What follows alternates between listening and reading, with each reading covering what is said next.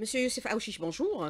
Bonjour Souhila, bonjour à tous les auditeurs et auditrices de la chaîne 3. Alors, consolidation du front interne, le FFS lance une initiative politique, elle est inclusive et au-delà des clivages idéologiques, comment elle se décline, cette initiative, monsieur Aouchiche Nous parlons plus euh, de la nécessité de s'engager pour euh, la construction d'un front patriotique qui est imposé par la situation euh, interne, par les fragilités internes que nous, vivons dans notre pays et par la situation, la complexité de la situation euh, régionale et internationale. En fait, nous préférons pas parler encore d'initiatives au sein du Front des Forces Socialistes. Nous, avançons, nous parlons plus de consultation avec les partis politiques dans l'objectif de parvenir à une plateforme commune qui sera euh, proposée au président de la République. Alors justement, mais par rapport à ce contexte, vous dites, le contexte impose cette initiative renforcer le frein interne, laisser la priorité de toutes les priorités aujourd'hui, puisque nous avons vu que certains actes ou certaines personnes tentent d'agiter la rue et vous dites c'est le plus grand danger. Effectivement, nous sommes dans une situation euh, complexe, un contexte euh, périlleux, euh, porteur de beaucoup de dangers et une situation qui nous impose de relever des défis immenses d'une façon euh, d'une façon collective. C'est pour cela que nous avons euh, lancé euh, ces consultations avec les partis politiques en vue de parvenir à une plateforme, à une, sorte de pacte entre les différents partis politiques qui prendrait en considération la situation interne du pays, mais aussi les enjeux et les, et défis que nous devons relever ensemble en tant qu'État national. Ces consultations se déclinent sur trois, ou quatre axes principaux qui sont la préservation, la nécessité de s'engager pour la préservation de notre État, euh, national et le renforcement du front patriotique. Euh, euh, le deuxième axe, c'est de trouver ensemble les mécanismes et les moyens qui nous permettront de concilier entre cette volonté euh, de lutter contre toute forme de subversion et toute forme de qui, qui, qui, peuvent porter atteinte à l'unité nationale, à l'intégrité territoriale et à la cohésion sociale dans notre pays, d'un côté, et concilier cela avec la nécessité euh, de euh, respecter les pluralismes, qui soient, les pluralismes et les principes fondateurs de l'état de droit. Alors, euh, euh, au vu de toutes les menaces que vous considérez internes et externes, la priorité, c'est la préservation de l'État national? Effectivement, nous ne pouvons pas, nous ne pouvons pas, nous ne pouvons pas parler de démocratie. C'est notre, euh, c'est notre pays est déstabilisé.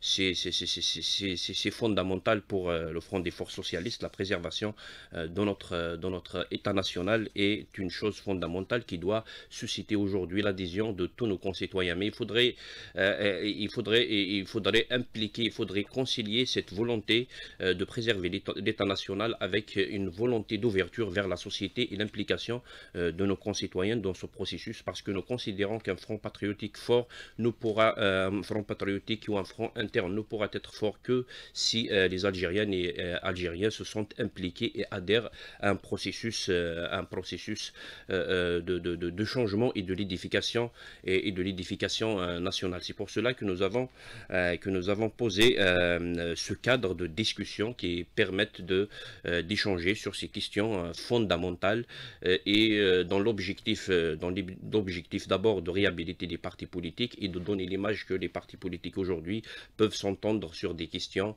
qui engagent euh, le présent et l'avenir de euh, et l'avenir de et l'avenir de notre de notre de notre pays.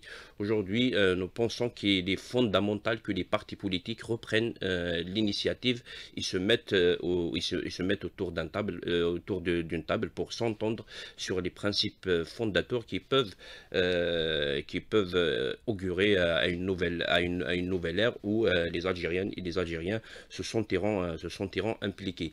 Euh, nous avons euh, fixé comme objectif principal à, ces, à cette initiative ou à, ces consultations, la, réhabilitation de l'action politique et la création de dynamiques euh, entre et la création de dynamiques euh, entre partis politiques. C'est la seule chose aujourd'hui qui pourra permettre euh, aux partis politiques de regagner la confiance, de regagner la crédibilité et de se poser comme acteur incontournable dans l'échiquier politique national. Malheureusement, ces derniers temps, nous avons senti qu'il y a une, c'est comme s'il y a une volonté de marginaliser ou ou de réduire le rôle que doivent jouer les, partis politiques au niveau national. Il me semble qu'aujourd'hui que les, les, corps intermédiaires ont un rôle fondamental à jouer, notamment dans, dans ce contexte porteur de beaucoup de risques sur, notre État, national. Donc, nous, avons pris nos, responsabilités et nous avons initié un certain nombre de rencontres avec les partis politiques. C'est une démarche euh, inclusive qui s'inscrit au-delà euh, des échéances au-delà des échéances euh, électorales, il s'adresse à tous les partis politiques respectueux du cadre républicain et du cadre constitutionnel et euh, il, s'adresse aux partis politiques qui sont à la fois engagés euh, dans la défense euh, des principes de l'état de droit et des principes de l'état démocratique, mais à la fois ceux qui sont intransigeants lorsqu'il s'agit de défendre l'état national et, la, et la cohésion sociale. Mais justement par rapport à ce que vous déclarez à l'instant, M. Aouchi, ce qu'on relève aujourd'hui, c'est que vous militez pour la réhabilitation de l'exercice politique, mais en attendant sa pensée, au vu des événements actuels, que euh, les partis politiques se sont exclus de la scène euh, nationale. Comment l'expliquer aujourd'hui? Est-ce que euh, c'est volontaire ou alors c'est parce qu'ils n'ont pas de projet de société? Je ne le pense pas. je ne le pense pas. Ce, constat est, la résultante de, euh, notre environnement, environnement. Nous, évoluons dans un environnement, euh, j'allais dire, hostile à l'exercice politique euh, d'une façon, d'une façon, d'une façon générale. Ce que nous faisons et ce que nous nous efforçons de faire, c'est de tenter de, de réhabiliter l'action politique, de réhabiliter les partis politiques, les partis politiques dans leur rôle. Sinon, je pense qu'aujourd'hui, il incombe à euh, à tout le monde et à tous les niveaux, y compris euh, les autorités et les pouvoirs publics, euh, de d'encourager les débats, d'encourager les partis politiques lorsqu'il s'agit de défendre leurs idées, lorsqu'il s'agit de, discuter des questions qui engagent le pays et qui engagent son présent et son avenir. Donc, nous avons constaté que les partis politiques euh, d'une façon ou d'une autre, ont été, euh, ont été, ont été euh, marginalisés des, débats, des, débats, des débats publics. Nous assumons bien évidemment une part, notre part de responsabilité de la situation actuelle. Nous avons et nous devons faire notre mea culpa d'une façon collective, mais aussi il faudrait, il faudrait libérer les espaces politiques et l'espace médiatique pour l'exercice politique et l'exercice des libertés fondamentales et constitutionnelle de, euh, de, nos concitoyens. Donc nous sommes engagés dans cette euh, perspective et je pense que nous, euh, nous, partageons aujourd'hui avec l'ensemble des partis politiques ce,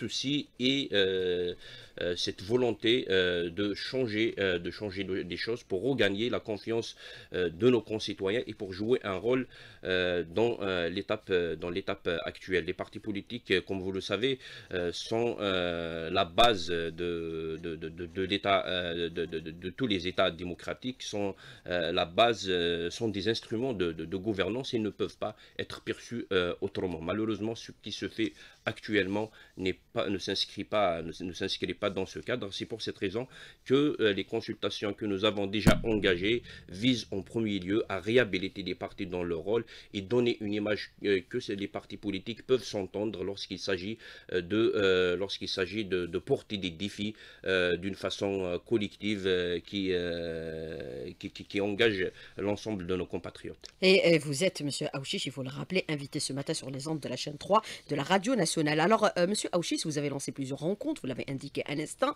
plusieurs meetings aussi en direction de la population, plusieurs consultations avec les partis politiques. Vous invitez l'ensemble des partis à des consultations en vue d'impact que vous qualifiez pour le parachement du projet national, que vous qualifiez historique, le consensus est obligatoire.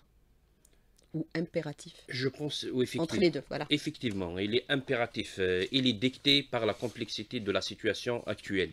Euh, nous trouvons, Du nous point de vue nous- interne et externe. de point de vue interne et externe. Nous devons travailler euh, de façon à trouver des consensus euh, sur toutes les questions, euh, sur, sur toutes les questions euh, principales euh, qui, euh, euh, qui engagent, qui engagent, qui engagent euh, no- no- notre pays, qui engagent son présent et, et- son avenir, sur les, questions politiques, les questions économiques et, les, questions, et les questions sociales. Euh, s'engager, euh, s'engager à, trouver des consensus nécessite à être prêt à faire des concessions. De notre part, nous avons affiché notre volonté de faire des concessions pour peu que, euh, pour peu qu'il y ait une volonté euh, partagée euh, de tous les acteurs, qu'ils soient euh, partis politiques et même le pouvoir, une volonté d'ouverture pour, pour aller dans le sens de la concrétisation d'un projet national qui immunisera notre pays par rapport aux défis et par rapport aux risques que nous vivons actuellement dans notre espace, dans notre espace vital et qui, ou bien ceux qui sont du fait de l'évolution ou du bouleversement inquiétant de la situation, euh, de la situation au niveau international. Mais jusqu'où pouvez-vous aller dans vos concessions?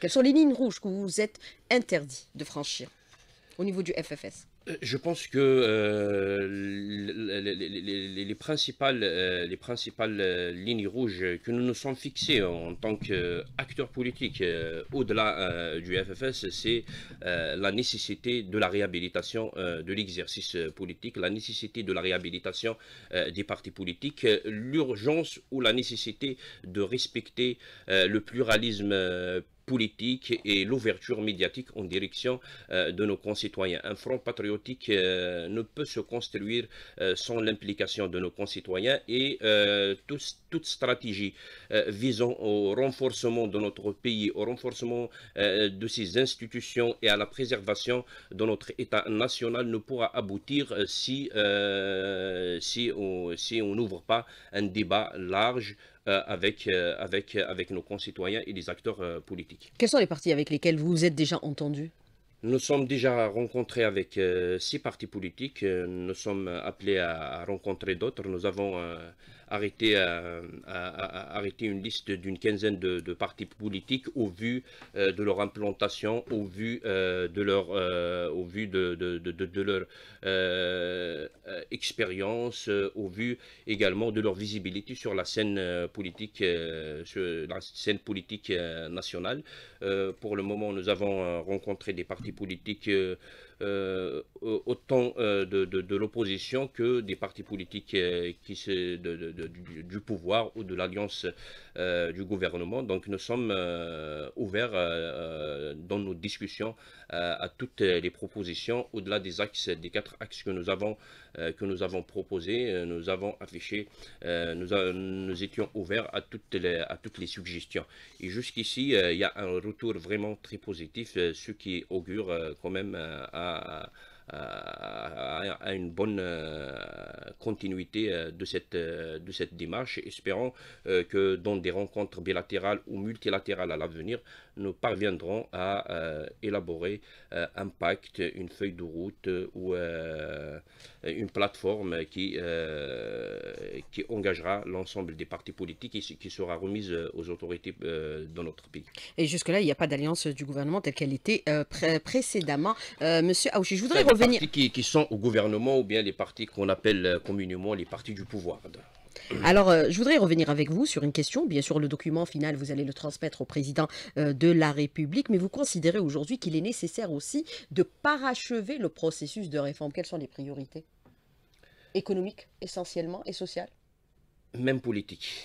Même politique euh, qui vise à, à respecter ou à instaurer les principes de l'état de droit, euh, le principe euh, du, plural- du pluralisme politique et d'ouverture des champs politiques euh, euh, sans lesquels nous ne pouvons pas euh, nous ne pouvons pas ambitionner euh, d'autres d'autres réformes. Bien sûr que le défi, le défi économique est important aujourd'hui. Il nécessite également d'ouvrir des discussions, d'ouvrir un chantier large entre les, différents acteurs pour relever le, défi de développement et de l'épanouissement de nos concitoyens. Et c'est des aspects que nous aborderons encore une fois dans la deuxième partie de l'invité de la rédaction où 5 minutes seront également consacrées aux questions des auditeurs qui nous contacteront sur notre page Facebook invité de la rédaction. Monsieur Youssef Aouchiche, merci. Restez avec nous, on revient dans un tout petit moment. À tout de suite. Alors, euh, Monsieur Youssef euh, Aouchiche, je voudrais revenir avec vous sur plusieurs aspects avant d'aborder bien sûr euh, le chapitre réforme que aujourd'hui veut préconiser pour un peu consolider l'État national, faire émerger l'Algérie sur tous les plans, puisque vous dites et vous déclarez que nous avons énormément des potentialités et la plus grande richesse déjà, c'est la ressource humaine. Mais avant d'aborder cette question, je voudrais revenir avec vous sur un aspect qui est important. Bien sûr, vous allez élaborer un document que vous allez remettre au président de la République par rapport à cette initiative. Euh, inclusive avec l'ensemble des partis euh, politiques que vous avez bien sûr déterminés. Vous avez rencontré jusque-là six partis euh, politiques dans le Mostarbel, je vais citer quelques-uns, oui. Gilles Jedid et le PT également. Le votre, RND aussi. Le RND, voilà. votre volonté aujourd'hui, c'est un peu de secouer les partis politiques, de les impliquer dans la situation politique actuelle du pays. Vous êtes fixé une échéance pour la remise du document au président de la République ou alors c'est des échéances qui restent tant que les consultations sont toujours en cours euh, Pas encore. Nous n'avons pas encore fixé euh, d'échéance euh, pour la rédaction ou la remise du, document, mais nous avons, fixé un calendrier pour, le déroulement des, rencontres que nous espérons terminer d'ici au plus tard la mi-novembre. Après, ces, après, cette date, nous allons rédiger une synthèse que nous allons remettre à tous les partis que nous avons déjà consultés.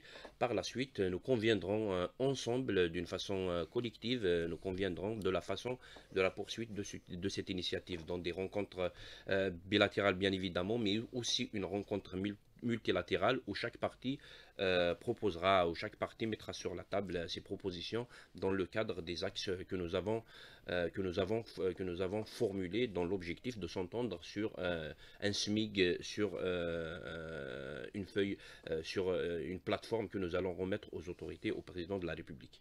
Et vous dites, il n'est pas question de récidiver ce qui a été fait par le passé. Qu'est-ce que vous entendez exactement par là Ni, c'est-à-dire faire des pactes avec certains partis qui sont complètement aujourd'hui, qui ont complètement disparu de la scène euh, politique?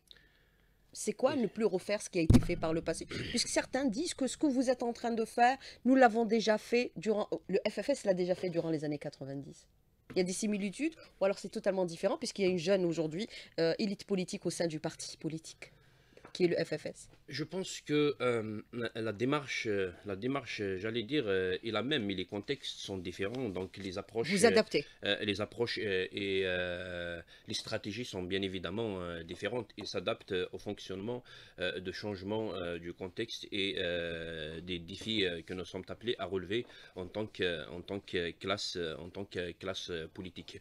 L'initiative ne se veut pas et, et ne se veut pas uniquement la réunion euh, d'appareils euh, pour euh, rééditer les mêmes scénarios de soit dans, le, cadre beaucoup plus folklorique ou sans donner, donner une, j'allais dire une profondeur, euh, une profondeur politique, euh, une profondeur politique euh, à l'initiative. Je pense que euh, le contexte est propice euh, à, une entente, à un compromis historique entre les forces politiques représentatives et euh, le- le- les défis euh, également que nous sommes appelés à, relever et la complexité de la situation du moment nous impose euh, chacun de son côté à faire des compromis pour parvenir euh, à, avoir un, un pacte, un pacte commun. Euh, un pacte commun qui réhabilitera euh, l'action politique, qui réhabilitera les partis politiques dans, euh, dans, dans, leur rôle. Euh, un, pacte, euh, qui s'inscrit euh, et qui vise à transcender euh, sans les nier les clivages euh, idéologiques euh, et se veut, euh, il se veut, il, se veut consensuel. Il ne s'inscrit, euh, la démarche ne s'inscrit, euh, euh, ne s'inscrit contre aucune partie. Il ne vise plus, il ne, vise pas non plus euh, à, être en concurrence avec aucune, avec aucune ou d'autres initiatives. donc à ce propos, nous tenons à saluer tous les efforts qui ont été consentis dans le sens du renforcement du lien national et la promotion du dialogue pour immuniser le pays, mais nous considérons aussi qu'un véritable consensus euh, national ne peut se construire qu'avec l'adhésion des Algériennes et des Algériens en libérant les espaces politiques euh, et médiatiques. Alors euh, justement, vous ratissez l'âge, vous êtes porteur d'espoir face bien sûr au discours de division qui sème le désespoir et vous êtes contre toute forme d'ingérence étrangère, quelle que soit son origine. Pour vous, c'est un débat entre Algériens et pour les Algériens exclusivement. Effectivement, effectivement, c'est une question euh, tranché au sein du, du, du Front des Forces. Euh, c'est une ligne rouge euh, pour le, Front des Forces socialistes. Nous rejetons toute forme d'ingérence comme on s'inscrit contre toute forme d'extrémisme contre toute, toute personne euh, porteuse de projets ou d'idéologies euh, visant euh, l'instauration de la division entre Algériennes et Algériens. Alors le contexte est différent par rapport aux années 90, vous l'indiquez un instant, les choses ont changé. C'est le contexte géopolitique qui vous préoccupe le plus aujourd'hui, Monsieur Aouchiche? Au sein du FFS Oui, oui. Euh, les menaces qui passent les menaces pas qui uniquement du FFS, je pense qu'il préoccupe, préoccupe euh, l'ensemble euh, l'ensemble de la classe politique et au-delà des partis politiques, il préoccupe également nos concitoyens. Et c'est là que le rôle des partis politiques doit être réhabilité, il doit être, et, il, doit, il doit être renforcé pour expliquer les, les enjeux et pour conscientiser nos concitoyens. Il doit se déployer sur le terrain effectivement, nous, devons, des se, nous, devons se déployer sur, le terrain, nous devons encourager euh, les corps intermédiaires euh, pour euh, expliquer à nos concitoyens, les conscientiser et trouver et retisser les liens de confiance qui ont été longtemps détruits entre nos concitoyens d'un côté et les institutions de l'État de, de, de l'État d'un autre côté. Je pense que le défi aujourd'hui, c'est un défi euh, c'est un défi euh, central, euh, c'est le défi, de recréer les liens de confiance, recréer les passerelles entre les citoyens et ces institutions, qu'ils soient représentatives ou les institutions et les, différentes institutions de l'État, pour que les Algériennes et les Algériens se, se, sont, impliqués. Pour cette raison, je pense que nous devons impliquer l'ensemble de nos ressources. Le pays dispose de Pardon, le pays dispose de pas mal euh, de richesses, euh, dispose d'une jeunesse très dynamique, dispose d'une élite euh, qui peut porter ou adhérer à un projet, un projet politique pour peu qu'on leur envoie des signaux, pour peu qu'on euh, affiche une volonté réelle de les impliquer dans ce que nous faisons. Les Algériennes et les Algériens à ce moment-là seront, totalement, seront totalement disponibles à adhérer à une telle démarche pour défendre, leur pays, pour défendre sa cohésion, son unité et défendre d'une façon générale euh, l'État national, toutes les étapes historiques euh, que qu'a traversé euh, euh, l'Algérie post-indépendante, euh, je pense que, que, nous, que, nous a donné plus, nous, a donné beaucoup de leçons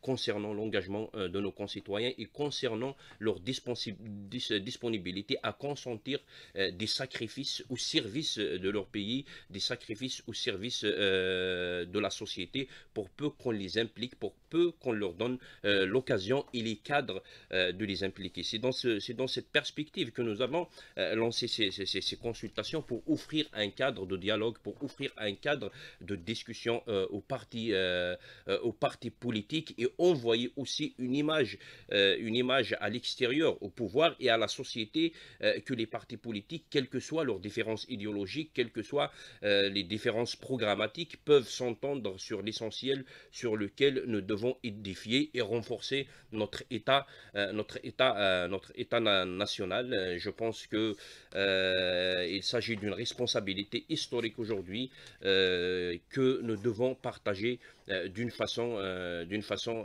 d'une façon, d'une façon collective, loin des enjeux ou des calculs politiciens parfois étriqués, loin des petits, loin des petits, des, des, petits intérêts personnels et loin des considérations même idéologiques qui ne pourront pas travailler actuellement dans l'état où nous sommes, le projet, le projet national auquel nous aspirons tous en tant qu'Algériens. Alors justement, vous êtes porteur d'espoir face à ce discours de désespoir. Est-ce qu'il y a une volonté aujourd'hui de saper un peu le moral des Algériens à travers, bien sûr, un discours séparatiste, un discours haineux et un discours de désespoir? Quel est votre commentaire justement par rapport à cette question précisément, Monsieur Aouchiche? Oui, oui, il y a les, forces, les forces de l'inertie euh, à l'extérieur comme à l'intérieur du pays agissent toujours, ils sont là. Nous devons prendre de plus en plus conscience, euh, de plus en plus présentes, nous devons prendre conscience euh, de, cette, de cet état de, de, fait. les forces qui veulent instaurer la division et qui veulent, et qui veulent si j'allais dire, euh, qui veulent euh, déstabiliser, euh, déstabiliser notre, notre état, état national ou remettre en cause les référents historiques euh, et, les valeurs, euh, et les valeurs fondatrices euh, dans notre État sont toujours là. Nous devons prendre conscience de cette situation et nous devons s'ériger contre eux. Il ne se fait pas uniquement de prendre conscience de l'existence de, de ces forces de ces forces d'inertie, de ces forces de division, de ces forces séparatistes, mais il faut mettre aussi une stratégie pour les combattre sur le terrain pour ne pas leur permettre de jouer un rôle et donner la chance à, soit aux ingérences, soit à, la déstabilisation, à la déstabilisation euh, de notre pays. Cela nécessite euh, bien évidemment l'engagement de toutes les forces euh, patriotiques, qu'il s'agisse des partis d'un côté ou qu'il s'agisse également du pouvoir de l'autre. Nous devons prendre conscience qu'aujourd'hui, que la meilleure façon pour faire barrage aux forces extrémistes et la meilleure façon de faire barrage à toute stratégie de division ou euh, de subversion euh, ne peut aboutir que si euh, on implique nos concitoyens, que s'il repose sur une adhésion ou une adhésion, une base populaire très solide, dynamique, bien, et bien, et bien, et bien, et bien organisée. Donc, si le défi, si le défi, si le défi de, de, de, l'heure, donc, il faudrait qu'on s'entende sur une démarche, une démarche nationaliste, patriotique pour faire face à tous ces enjeux bien sûr, ces forces, euh, d'une façon ou d'une autre, ont des prolongements à l'extérieur ont des prolongements à l'extérieur, ces prolongements... Avec des États et des pays qui veulent du mal à l'Algérie. Avec des États, avec des forces, avec des lobbies qui veulent, euh, qui veulent du, du, mal à l'Algérie et qui veulent euh, saper euh, notre, notre souveraineté, toutes nos souverainetés, qu'ils soient politiques, économiques, donc, social, culturel. social et culturel. Donc nous devons travailler, nous, devons, nous, devons travailler dans le sens de, de renforcement de nos souverainetés, dans le dans le sens de renforcement euh, de, la résilience euh, de notre économie, dans le sens de, la, de renforcement de la cohésion euh, de notre société. Cela ne peut se faire que si nous sommes organisé que si on libère, euh, euh, on libère, euh, on libère les initiatives ici mm, et, il ne pourra se faire sans qu'on ouvre les espaces politiques pour le débat. J'aime bien la, matinale de la chaîne 3 parce qu'il permet justement l'expression de ces idées, l'expression et le partage entre acteurs politiques, entre différents acteurs de la société avec, avec nos concitoyens. Nous espérons que ces espaces euh, se généralisent euh, au niveau de nos différents euh, médias. malheureusement, nous constatons que ces derniers temps, il y a une certaine, il y a une certaine volonté de, fermeture de l'espace médiatique, de l'espace politique, même pour les forces, même aux forces patriotiques, ce qui est contraire au discours ou bien à la volonté de la préservation de notre État national et de renforcement de, de ses capacités de défense. Alors quand vous parlez d'extrémisme, séparatistes. Vous parlez précisément, puisqu'on est habitué au discours franc de M. Aouchiche, des groupes terroristes du MAC et, et Rachad, et également, bien sûr, de certains youtubeurs qui sont financés et alimentés par le Marzel. C'est ça? Vous, précisément? Vous parlez de façon générale? Nous parlons de tous les extrémistes, quelles que soient euh, leurs, origines et quelles que soient, euh, et quelles que soient euh, leurs, leurs, idéologies. L'extrémisme est contraire à la démocratie. L'extrémisme ne pourra pas favoriser l'émergence d'une démocratie, l'émergence d'un état de, de, droit. Eh bien, au contraire, il pourra servir dans le contexte actuel d'appui au Dalibi pour essayer de s'ingérer dans nos affaires, euh, dans nos, dans nos affaires, euh, dans nos affaires euh, intérieures. Mais pour ne pas permettre à tous ces gens de jouer un rôle ou d'influencer d'une façon ou d'une autre nos concitoyens, nous devons donner la chance aux forces patriotiques pour, j'allais dire, jouer leur rôle qu'ils doivent jouer et assumer leurs responsabilités sur la scène politique nationale et auprès, de, nos concitoyens. Et ouvrir le débat au sein des partis politiques. Effectivement, au sein du Front des forces socialistes, nous avons affiché euh, notre volonté euh, à assumer euh, cette responsabilité et nous avons également à chaque fois que c'est nécessaire rappelé que l'unité nationale, l'intégrité territoriale, les souverainetés et, la cohésion de notre société sont des lignes rouges que nous ne pouvons pas discuter ni remettre en cause sous quel motif que, ce soit.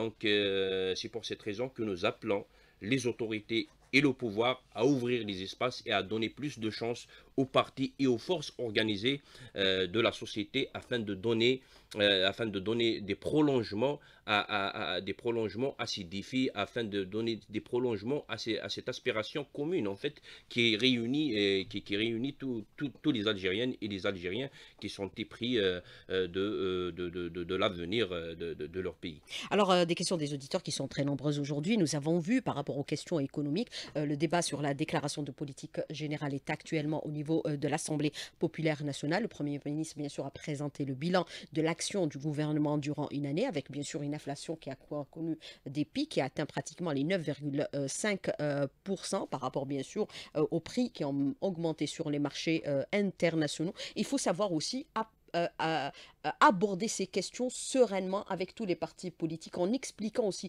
à la fois le contexte national et international, puisque dans le domaine agricole, on s'étonne que les prix aient augmenté, on oublie qu'ils ont augmenté sur les marchés internationaux et qu'on a connu quand même une période de sécheresse où les rendements ont été fortement affectés. Quelle est votre réponse justement par rapport à cette euh, question? Est-ce que les partis doivent s'impliquer également?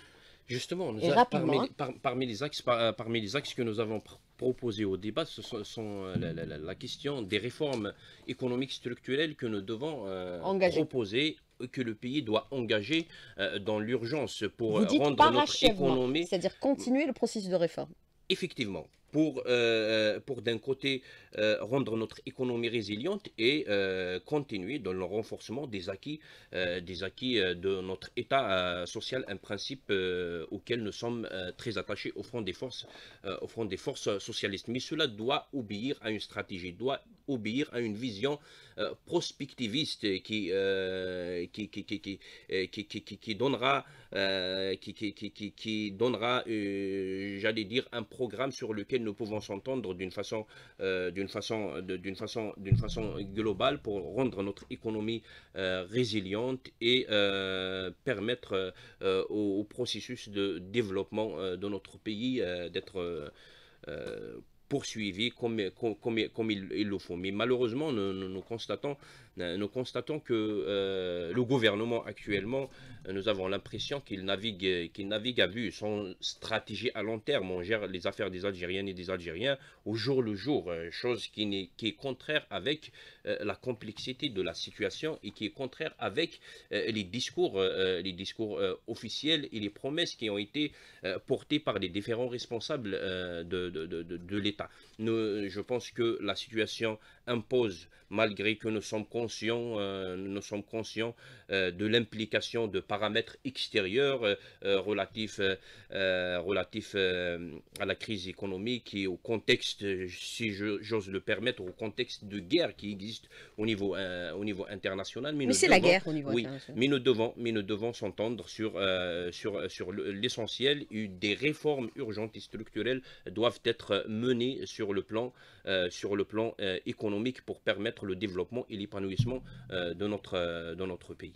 Et bien sûr, le président a ordonné aussi plus de célérité dans l'exécution des décisions prises au plus haut sommet de l'État. C'est des questions de souveraineté. Vous avez aussi cette question de l'auditeur qui vous dit aujourd'hui, il y avait des partis qui ont appelé à la dissolution et à la disparition des partis politiques parce qu'ils ont failli antérieurement. Faut-il aller dans ce sens-là? C'est la question de l'auditeur.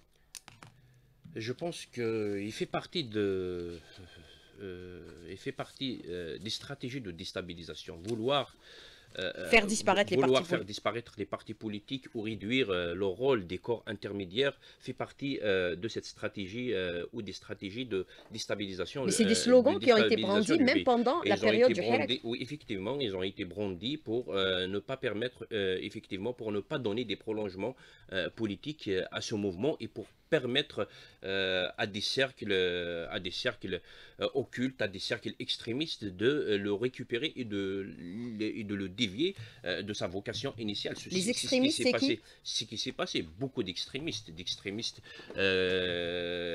qu'ils soient religieux, des séparatistes, ce, qui, ce, que nous voyons aujourd'hui se produire sur des euh, sur des plateaux des télévisions, euh, des, télévisions des, télévisions étrangères dans l'objectif de porter atteinte à notre pays ou ceux qui, pro, et ceux qui profèrent euh, de, un certain discours hostile, hostile à l'Algérie au niveau, au niveau des, réseaux, des, réseaux, des réseaux sociaux.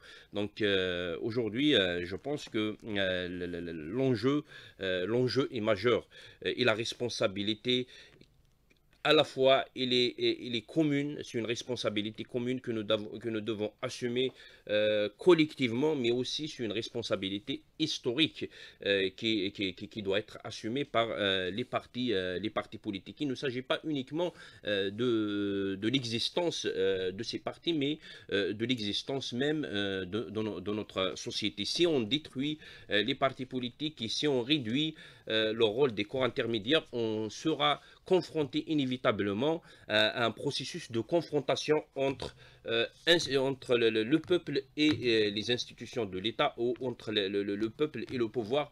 Euh, et, et, le, pouvoir. Donc c'est une volonté et qui, qui, qui, a existé et qui existe encore de marginaliser les partis politiques et les corps intermédiaires pour vouloir soit vouloir les remplacer par une hypothétique société civile, même si nous sommes pour euh, l'émergence d'une société civile. Il y a de la place pour tout le monde. Effectivement, euh, une société civile réellement représentative, porteuse euh, de projets, porteuse d'idées, mais les partis politiques, comme, comme dans toutes les démocraties modernes, doivent jouer un parti central dans le processus de l'édification de notre pays et de la conscientisation de nos concitoyens. Alors très rapidement, c'est vrai question des auditeurs également, vous avez cette question, aujourd'hui, certains partis politiques sont totalement out.